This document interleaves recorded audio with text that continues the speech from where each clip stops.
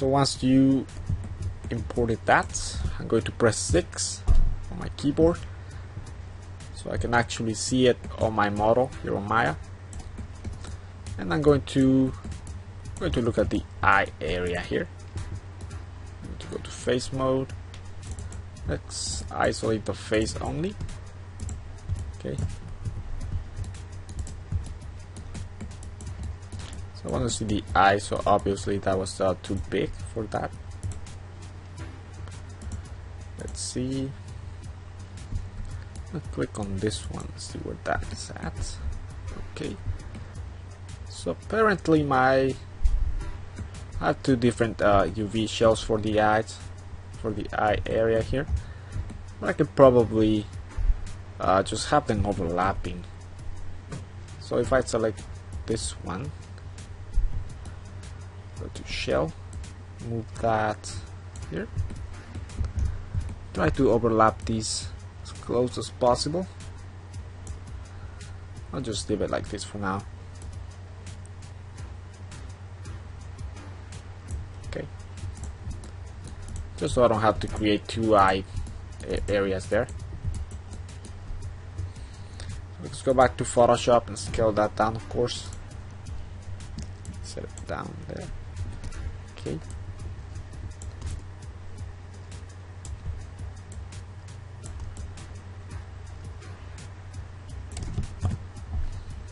let's save that again and we can go check back here.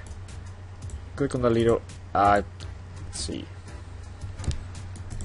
So to get back to the importing area uh, click right here on the arrow for color and click on reload and it's going to reload the image. So as you can see it starts to work this way.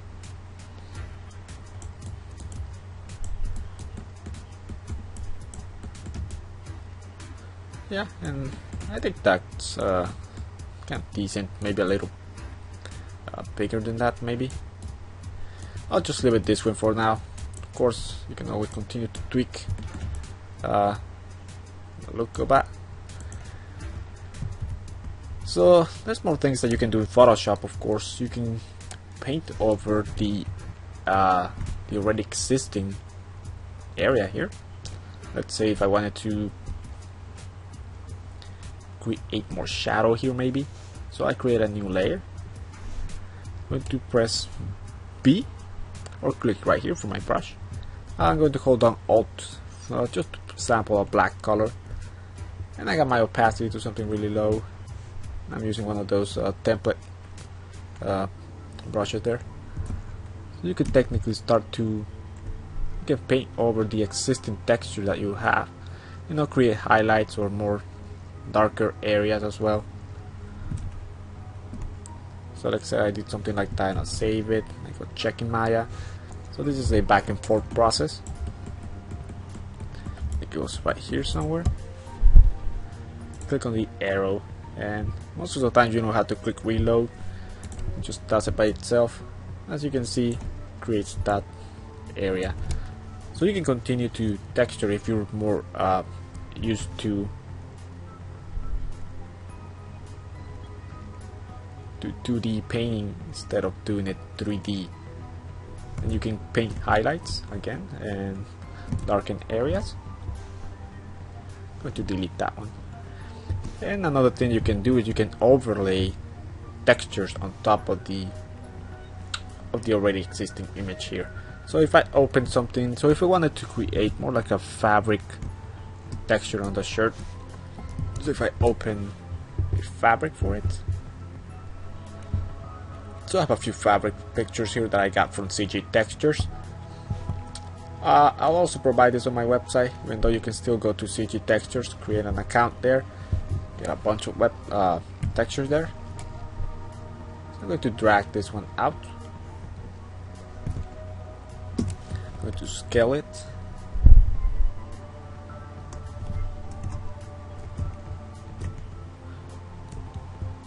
And now that I have that it's a good thing to name all your uh, and you can set it to let's say overlay or soft light.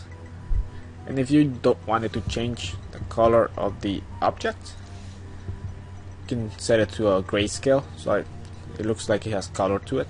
So if you hold down Control Shift U on that layer you can set it to grayscale. Now if we go to soft light we can reduce the opacity of it. As you can see it starts to create like a it looks more like it has texture to it like a fabric. Let's save it just so that we can see it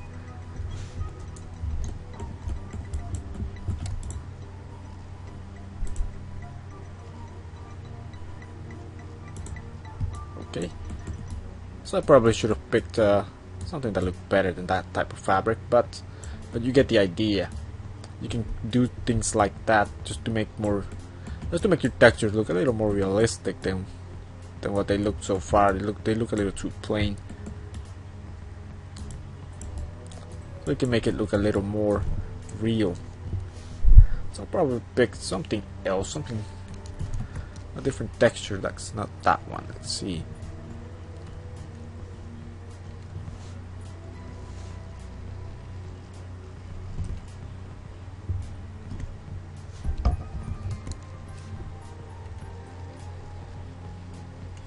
I'll choose this one, see what's the difference between this one and the last.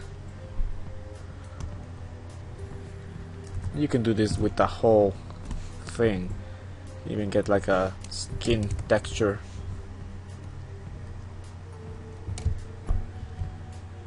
And of course you don't have to use the same blend uh, blending type.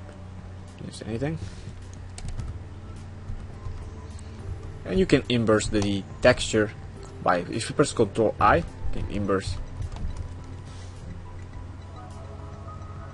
If I save it and I check back to Maya.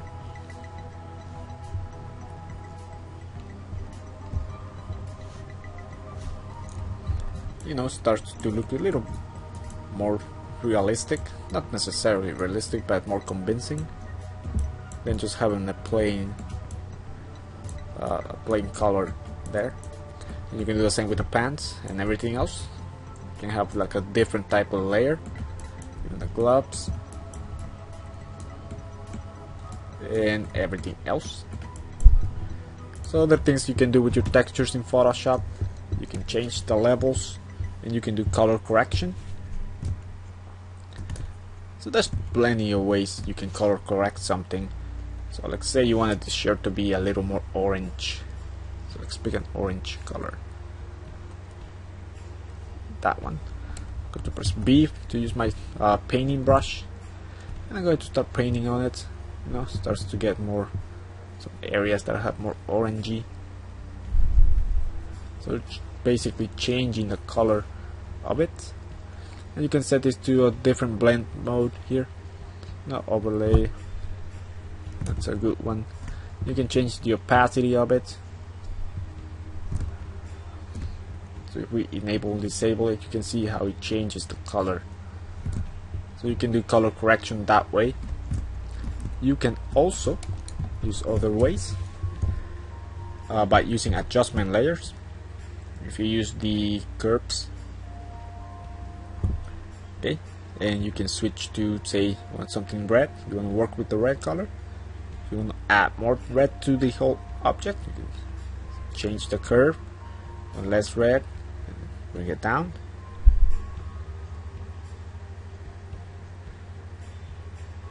Let's say I want it less red for my brown colors. Let's say okay. So we can see the difference here. But say I just want it for some areas not the whole thing.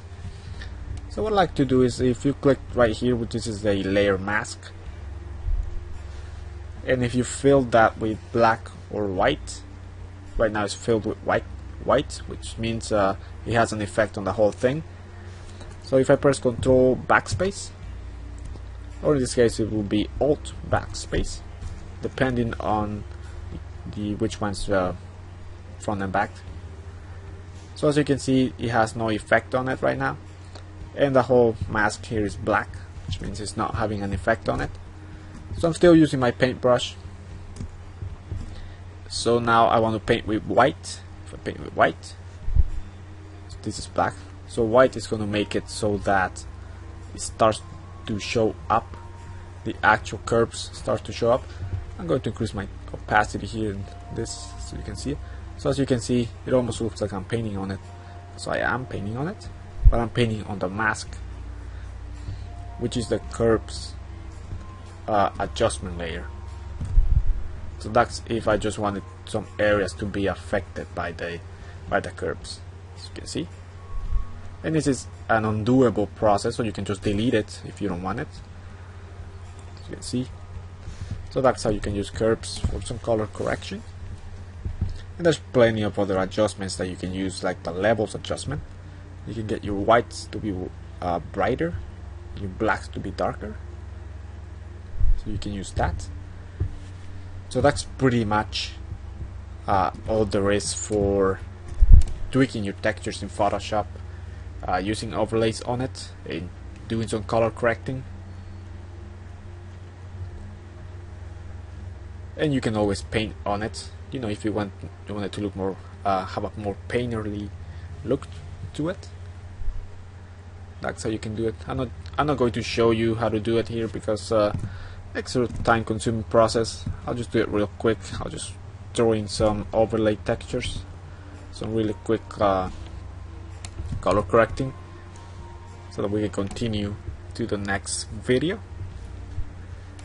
And pretty much the normal map uh, it's already done. We don't have to do anything else. Remember just you just need to fix it within ZBrush. So let's say you were done creating the whole texture and you had a bunch of layers here. The last thing I want you to do is uh, go to layer and flatten image. Pretty much everything is going to be one layer.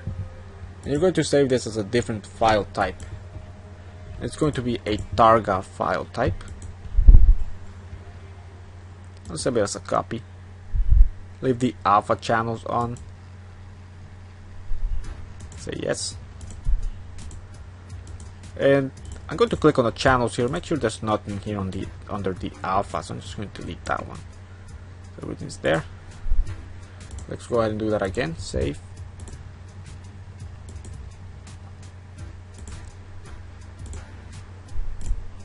Yes. Okay. I'm also going to open my uh, normal map. I'm going to save it as a Targa as well I find that actually a TIFF is fine but sometimes Targa works better in Maya so if you you ever have any problems in Maya using normal maps it might be the, the file type so something else you may want to know how to do is uh, creating a specular map. So basically it uh, controls the shininess of the object. So to create a specular map, uh, to control the areas that you want to be shiny, first you have to make sure that the image is a grayscale image. It doesn't really, really have to be, but it works best in this case. So I'm going to make sure that this image is a grayscale. So I'm going to press Ctrl Shift U. Okay. And I'm going to use a levels adjustment layer. So I'm going to click there. I'm going to increase my whites and my black as well. As well. So basically, whatever is white is going to be more shiny than anything else. Whatever is black is going to be less shiny. This is just to show you the purpose of this. Don't take a mine's going to be like really rough here it's not going to be very well done especially since we have areas like the gloves which are were white to begin with and we pretty much don't necessarily want them to be shiny. So if I were you I would just paint uh, make it darker.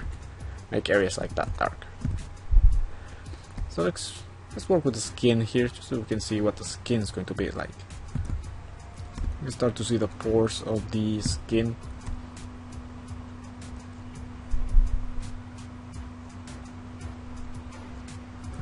Okay I'm going to create a more appropriate uh, map on my own time. So the next video I'm probably going to show you what mine looks like. This is just a rough uh, map just to show you what it's going to do. So as you can see the eyes are really really white. So that's going to be super shiny. It's not necessarily what I want right now but as I said this is just to show you the practical use of it.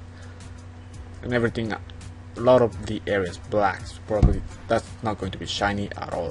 So let's save it. I'm going to save it as a separate file. It's going to be a targa file as well. And this is going to be a specular map. Make sure it's a copy. And save it. So that's a specular map uh, I'm going to close it without saving it because that's, that was my diffuse map. Okay so now let's go ahead and apply all those maps in Maya. So I'm going to select the object. I'm going to rename my object here. Okay. Hold down right click and assign new material. Uh, we want a material that has shininess to it. A Lambert material does not have any shininess. So I'm going to choose a Phong material. You can choose a Blinn or anything else to have shininess. I'll name it uh, Luigi matte for material. I'm going to click on the color. And this time I'm going to select file because this is a Targa files, not Photoshop file. I'm going to choose my diffuse Targa file. Okay, so this is what I got. I'm going to scroll down to the material. Now I'm going to click under my bump map so that we can apply a normal map. Uh, make sure it's file and make sure this is really important that you switch from bump to tangent space normal now click on that arrow and let's import that. And the final thing is the specular map which is going to be under our specular shading here and under specular color file. And that is Luigi specular. Okay. One more thing I want to do is I'm going to reduce the cosine on the specular one. You can play with that as well if you want to. But I find that if you lower that, it's more faithful to the map that we created. We do decrease the reflectivity. We don't want the object to be reflective. So this is pretty much it. So that's how you apply those maps to it and the final thing that you want to do if you want to make sure to preview the maps you can switch to viewport 2.0 if your computer uh, it uh, can handle it. You can also click on the high quality render which is the same as this icon right here. Click on that. And once you click on that again the viewport 2.0 makes it look a lot better than this. You can choose this one. And this way we can preview the normal map. And as you can see we have the details back from ZBrush. Some of the sculpting is back here. And again I wanted to show you about the uh,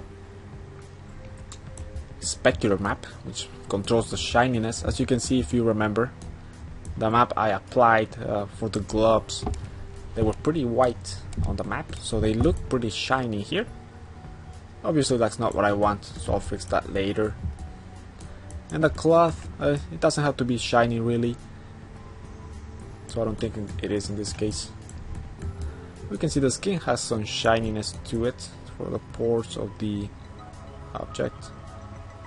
The eye seems to be too shiny probably. And we can add some uh, kind of highlights on the map.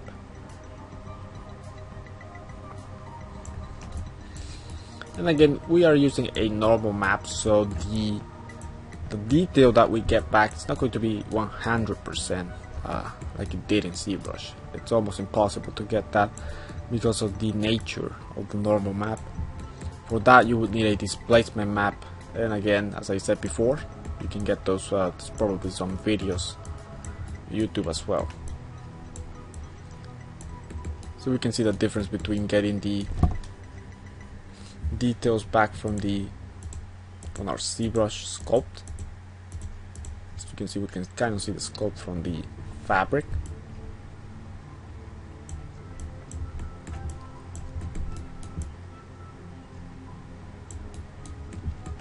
So that's pretty much everything there is for the for the sculpting part and texturing part and baking. Of course, once you add lighting and all that and a good render, it can look pretty nice.